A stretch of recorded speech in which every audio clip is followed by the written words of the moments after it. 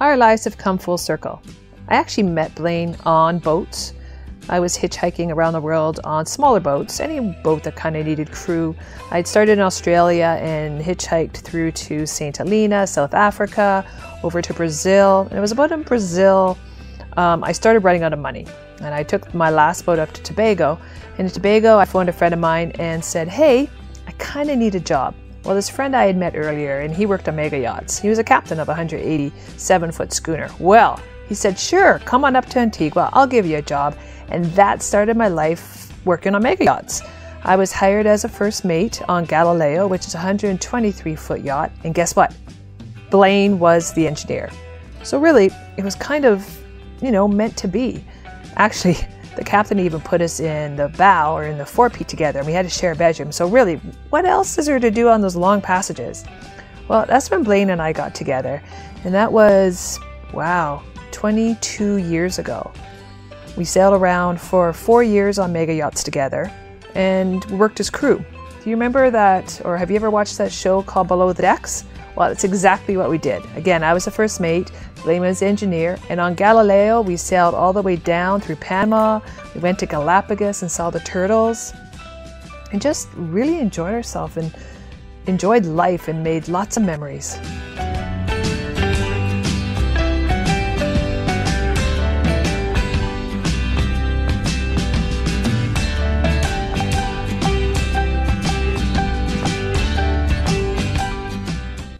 There was work to do, of course, on the boats, and as a first mate, I was in charge of everything that was on the deck. So I, was, I had to do the winches, I did all the varnish, I did all the stainless, and everything like that. Blaine, he was the engineer, so he was in charge of anything engine, from cleaning out black water to sorting out windlasses to keeping the engines running and the generators and everything that needed to be done.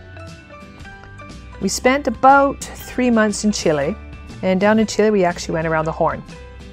Took us twice to get around the Horn. We actually got our butts kicked the first time around and had to turn around. On the second time around, though, we made it, and it was truly amazing. Did you actually know there's a family that lived up there? We met their kids, and they gave us a tour around Cape Horn.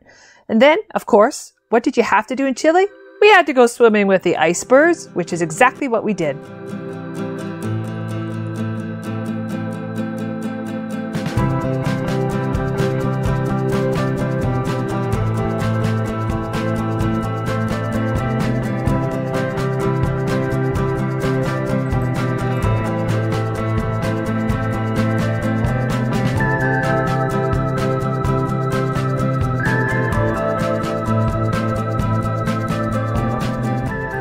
Again, we worked hard on the boats.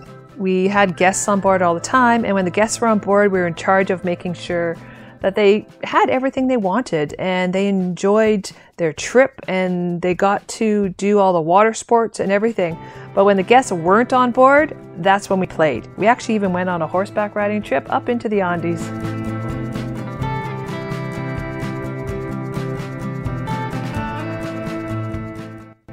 And guess what?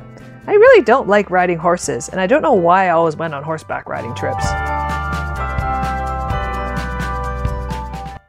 We did get ourselves into some bad weather though, but you know what? I never felt unsafe on a boat. I always knew that everything would be okay, and Blaine and I kind of worked as a team and made sure that everything went well.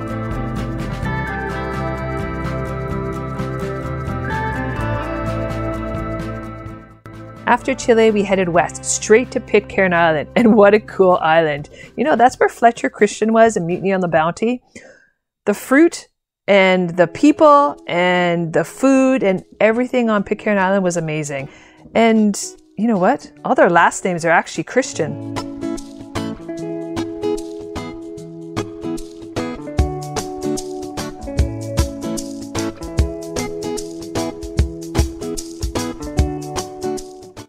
From Pitcairn Island, we sailed west and headed towards Easter Island. And along the way, of course, we would get some really cool shots and we'd have some fun because, man, it was hot. So we'd put on the climbing harness and dip ourselves off of the boom.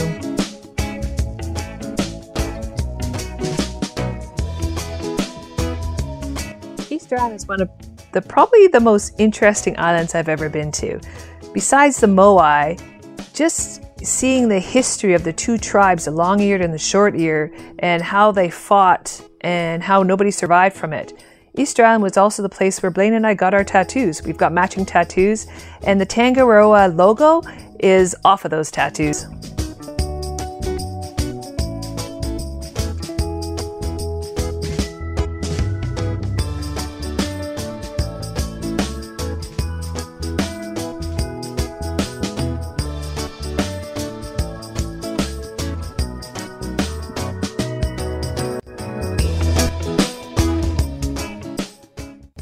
Also in the pictures is the crew of the boat. We kind of all became family and we'd have all these adventures together.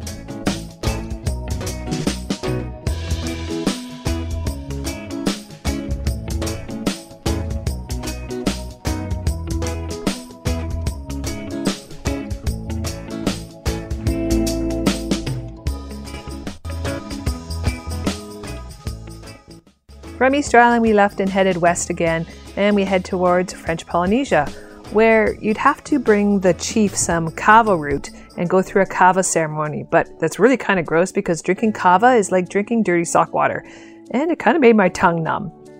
But we really enjoyed French Polynesia. We'd wake up every morning and we'd go wakeboarding, and then we'd work all day and then play all night.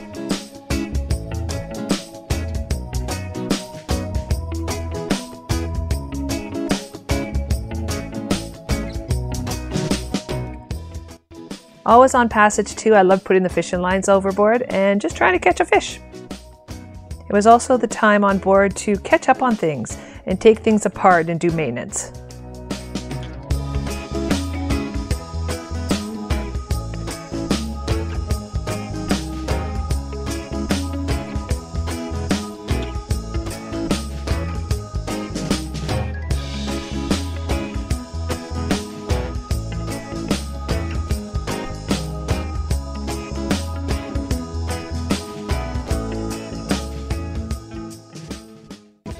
After French Polynesia, we headed south straight towards New Zealand. And trust me, New Zealand is amazing. Talk about a land of adventure. And Blaine and I tried every adventure sport out there.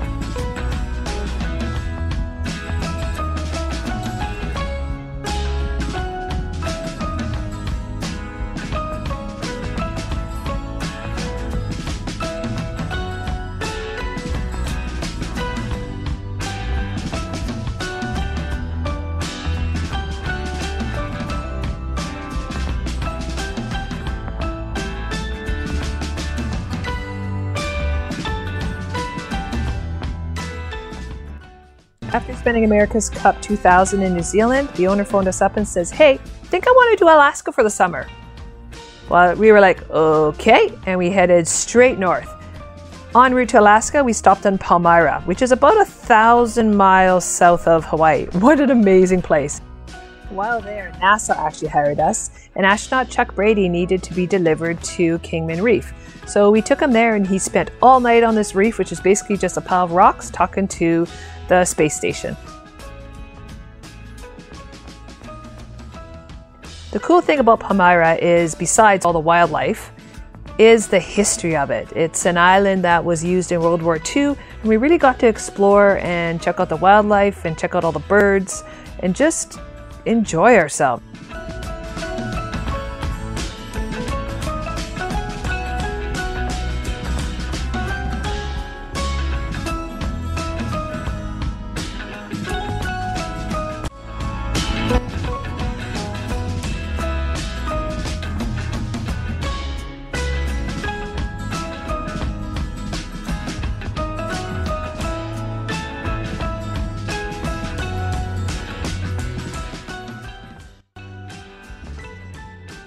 It was a stop in Hawaii and then straight to Kodiak, Alaska.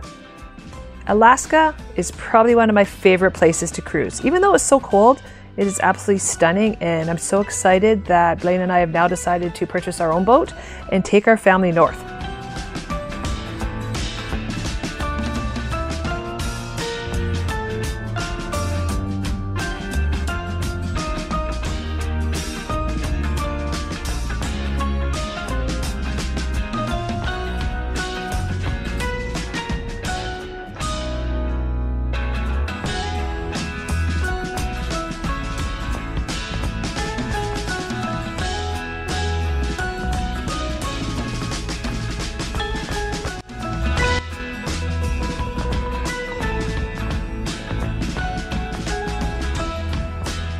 Well, in Alaska, Blaine and I actually decided to hop boats. Actually, I got kicked off of Galileo due to immigration. But anyways, we joined Lady Diane. And she was a 100 foot powerboat, which was a bit different for us going from a sailboat to a powerboat. And the thing with Lady Diane is she actually didn't have enough gas to get across the ocean. So Blaine and I loaded her on top of Dockwise and we took her to the Mediterranean, right through the Panama Canal.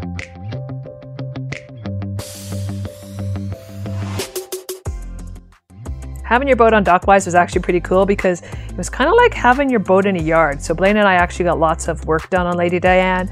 We ground out all the props, we put replaced the zincs, we did the bottom paint, and I did lots of varnish and anything that Lady Diane needed done to her to get her ready for Italy. So we got off at Dockwise in France and sailed the boat to Italy where we spent about four months going up and down the coast, all the way from Genoa south to Capri. And of course, when the guests were on board, we got to play.